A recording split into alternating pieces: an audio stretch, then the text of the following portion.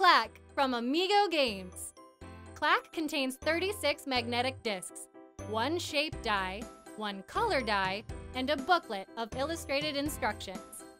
The object of the game is to collect the most discs. Players collect discs by matching the color and shape shown on the dice. Let's set up the game.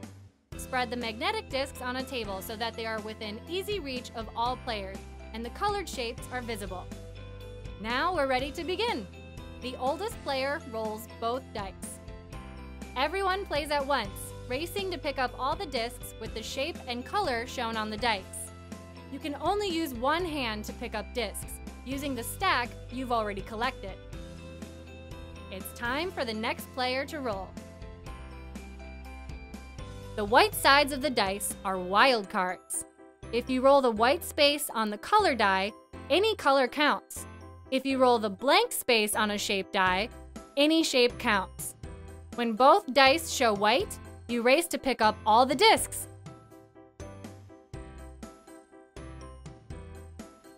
If you pick up a wrong disc, one that doesn't have a color and shape matching the dice roll, you must return this disc plus one penalty disc to the table.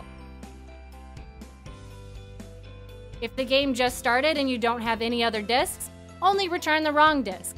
You don't have to pay the penalty this time.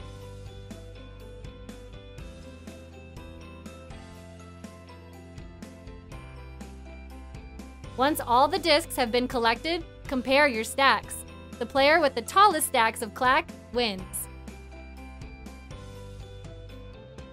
Thanks for watching and happy gaming!